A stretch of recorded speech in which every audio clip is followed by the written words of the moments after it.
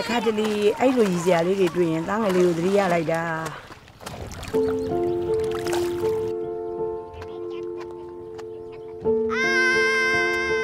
အမေသားအငယ်ကောင်လေးကလူကြီးလေးပါဒါပေမဲ့သူ့ကိုမဟုတ်တာလုပ်ရင်တော့ငြိမ်ခံမနေတတ်ဘူး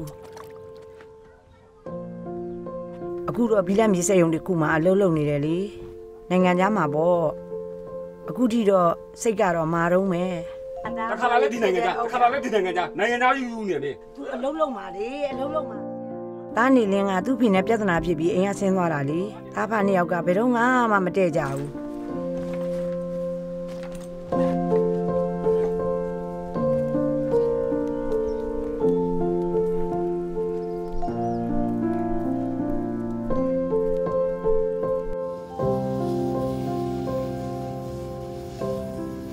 အခုသူအလောက်ကင်ဆင်းပြနေတာကိုသိရတော့ပြောတာပေါ့ရွာတွေကတချို့ကလေးတွေအကြောင်းကိုကြားဘူးတယ်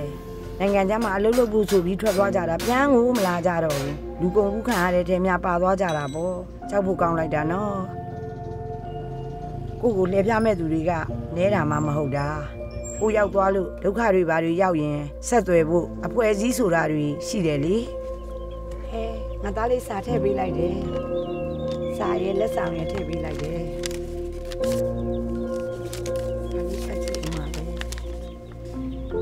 မေဒါတတိယဆိုနဲ့စာရေးလိုက်ပါတယ်ဒါအတွက်မစိုးရိမ်နဲ့နော်သူ့အဖေရဲ့စိတ်ရင်းအမှန်ကိုပြောပြနေရတယ်အခုထိသူတို့သားဖကစကားမပြောကြသေးဘူးလေဒီနေ့တော့ပြန်ခေါ်ကြမှာပါသားဖတွေပဲတာချစ်တဲ့အမေကျမကြီးကောင်းပါစေ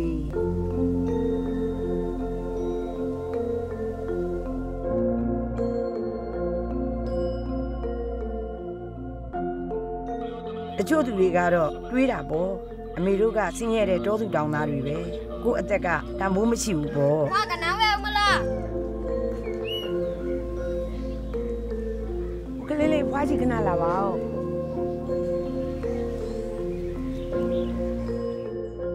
ကိုကလည်းတောသူအဖွားကြီးပါပဲဘာမှမသိဘူးပေါ့သိတာတခုတော့ရှိတယ်စင်ရဲရဲချမ်းသာသာသူများနဲ့တန်းတူဆက်ဆံခံရမယ်လေ